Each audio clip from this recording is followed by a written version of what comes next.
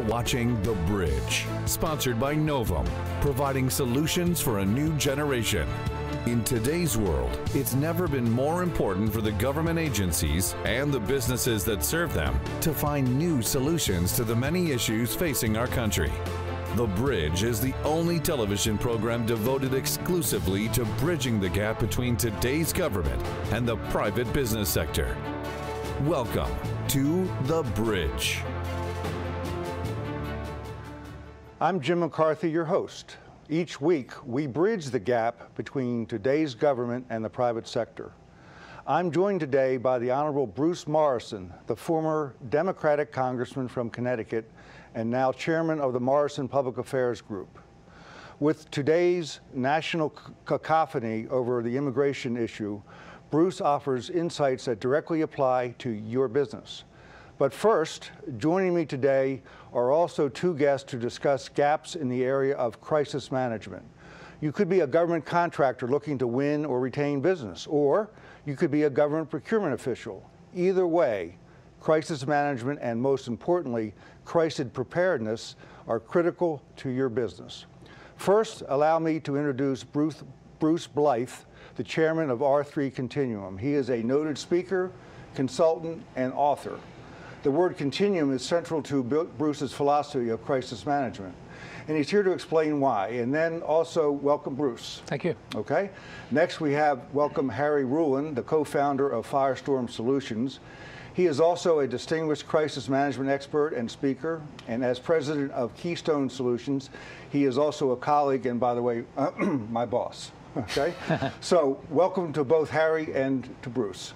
So, first of all, uh, I know that both of you agree that when a crisis inevitably and, and unfortunately occurs, the private sector shouldn't count necessarily on the government stepping in and fixing the problem. So, Harry, starting with you, why shouldn't the private business uh, expect that to happen? I mean, big government's there. Why don't they step in and handle it?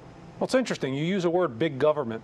It's important to understand that about 85% of the assets that are necessary to deal with a crisis, whether it be a natural disaster like a hurricane or an earthquake, uh, about 85% of those are in private hands. They're private company assets.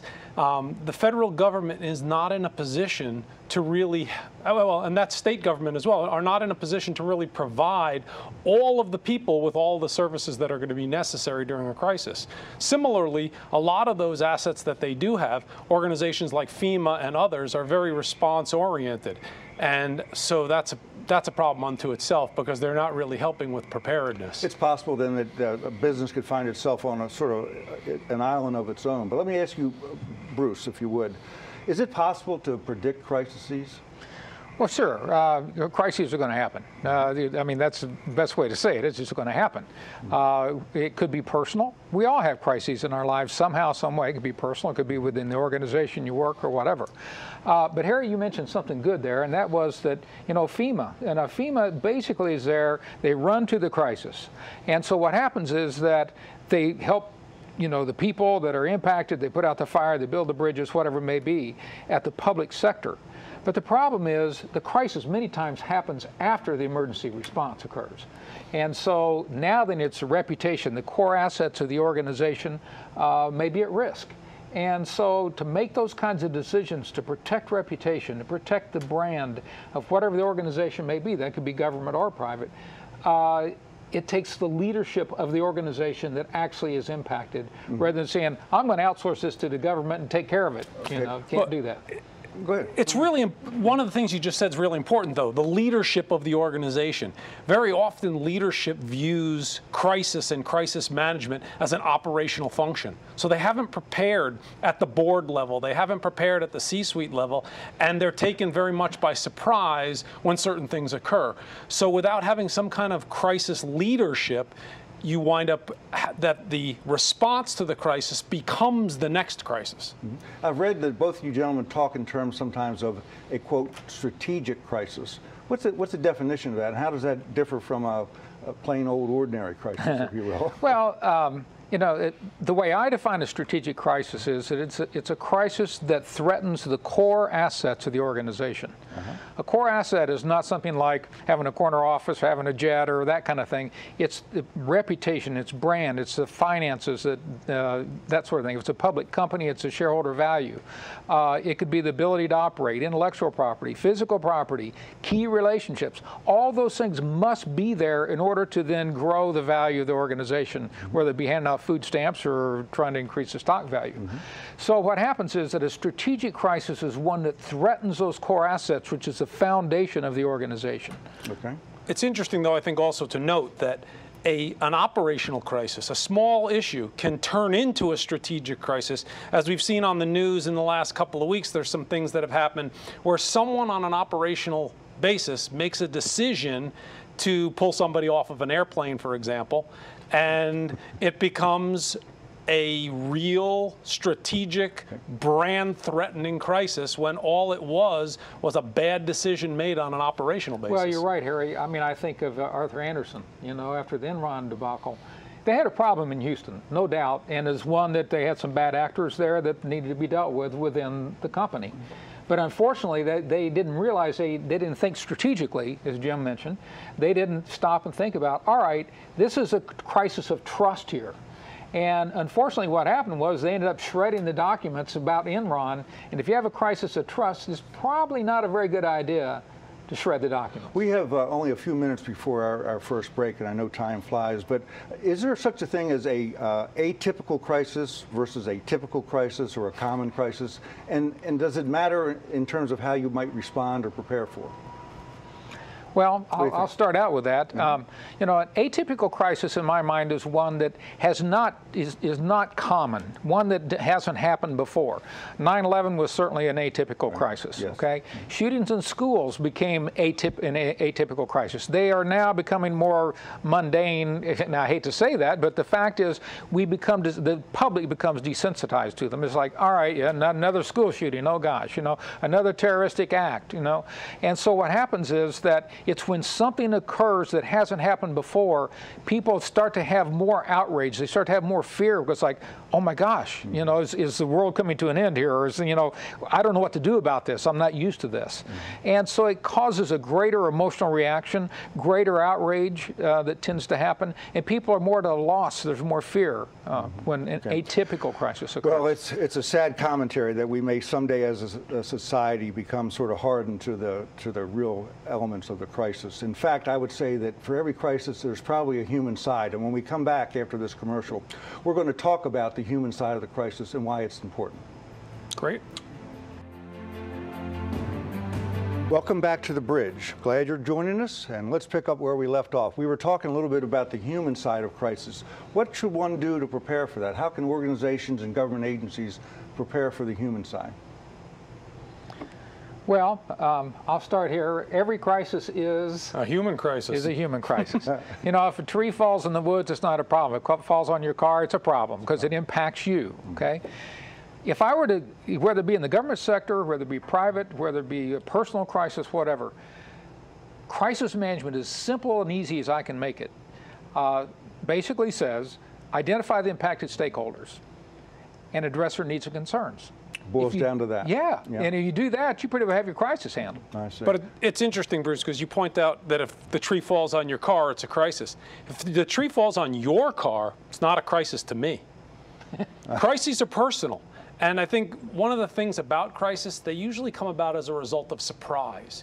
People feel that in some way they didn't expect what occurred, and therefore they're not prepared for it and it, it, could never happen to me that kind of thing we right? hear that all that's that's yeah. disaster denial uh. the concept that it can never happen to me it won't be that bad it won't mm-hmm. happen here and that's the reason a lot of organizations both government organizations and private organizations don't prepare mm-hmm. because it's not going to happen to me and therefore to spend that money on preparedness really doesn't make a lot of sense but you know harry that's not a defensible position anymore used to be never thought it happened here just about anything can happen now. And so the fact of the matter is that we are in a position where you cannot say, we never thought this was going to happen here. I mean, you just look at all the things that go on out there. It's So- not a defensible position. Let's talk about all the things that, quote, go on out there and talk about lessons learned for a second. What are some of the common mistakes and things that you've seen that have happened in the course of responding to a, uh, a crisis?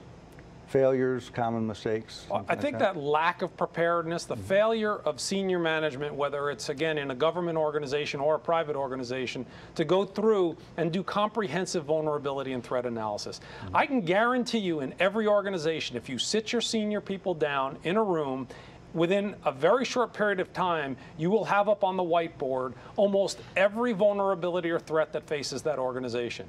You may not be able to say when it's going to happen, but you know that it could happen, and therefore you can mitigate or eliminate that potential. Mm-hmm. And most organizations are not doing a good job of analyzing their exposures. Mm-hmm. Basically, leaders of organizations have two overarching responsibilities. Mm-hmm. One is certainly to grow the value of the organization, whether it be, again, be public services or it might be, you know, making widgets. I don't care.